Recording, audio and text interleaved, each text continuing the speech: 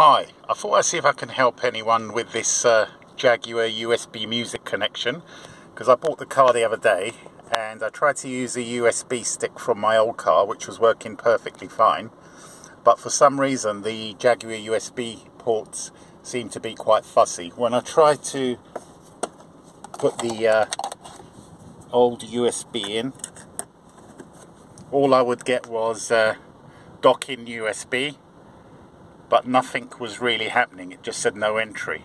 So I originally thought there was something wrong with the port, but after doing a little bit of um, investigation, it seemed to be like the uh, USB port needed to have the format in FAT32, but that's not necessarily true because I've tried a couple with that as well and it didn't work. So I did a little search, tried out a few, and in the end I found this HP USB which seems to work fine. I bought it from Argos for about $6.99 so this works fine and I'll just try it now again to show you.